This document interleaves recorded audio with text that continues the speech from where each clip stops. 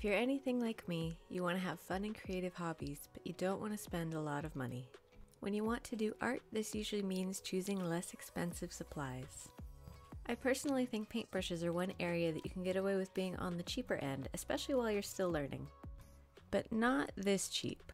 The paintbrushes I'm talking about are those sets of 6 to 10 that you can find at your local craft store for around $10 or less. You'll often get them in art kits or for art classes, and if friends and family know you do art, you might also get them as gifts. As you can see, I try to never throw paintbrushes away because you never know when you'll need a less than perfect one for a project. I've learned a lot through trial and error about what to do and not to do to help my brushes last as long as possible, and that's what I'm going to share in this video. At the end of this video, I'm going to pick out the worst brushes that I have and show you how you can revive brushes that haven't had the best care.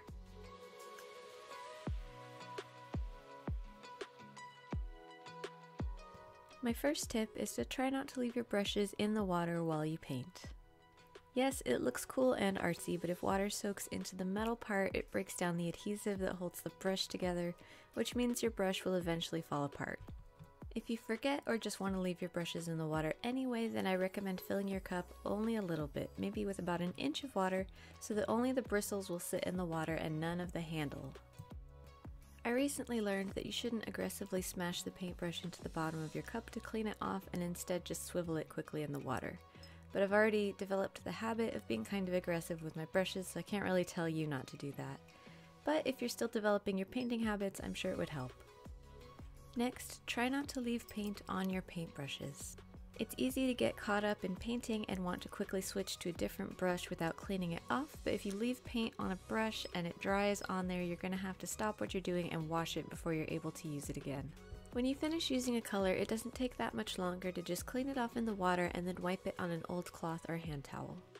While your brushes are still wet, be sure to let them dry horizontally for the same reason that you wouldn't leave them in the water, because the water from the bristles could soak down into the handle as it dries, causing the brush to fall apart sooner. When you're done painting for the day, even if you plan to start again tomorrow, gently rinse your brushes in lukewarm water. If there's a lot of paint on the brush, you can rub it with a little bit of hand soap and use warmer water. Hand soap is typically gentle enough for brushes and it's something we should all have already. Dish soap might be a bit rough, but you could use that instead if you have to. When you let them dry, remember the bristles will dry however you leave them, so be sure to put them back into place while they're still damp. If they won't stay in place with just water, you can leave a bit of soap on it and just be sure to rinse the soap off before you paint with it again.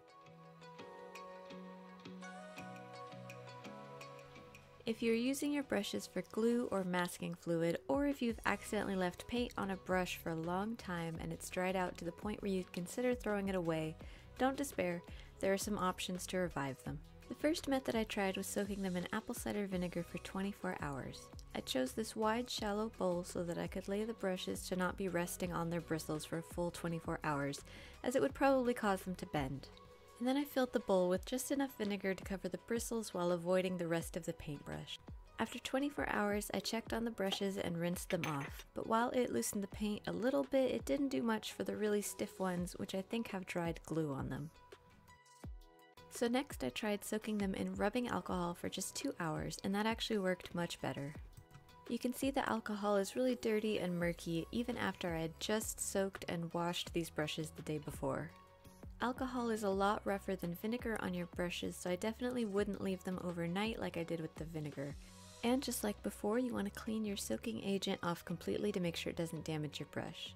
If they're still out of shape, you can also do the soap trick at this point.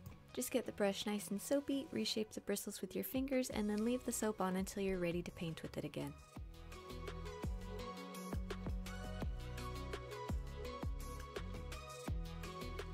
While these brushes aren't perfectly restored to new, they're definitely much more usable now. I was actually considering throwing some of them away, but I will definitely be keeping them. When your brushes are fully dry, they can be stored upright in cups and jars like what I do, or you can keep them horizontally in a drawer or box where they won't be crushed.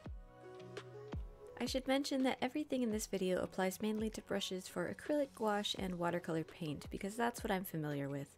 I know almost nothing about oil painting and I'm sure the brushes for that might be different, so just keep that in mind. Anyway, that's all for this video. Thank you so much for watching.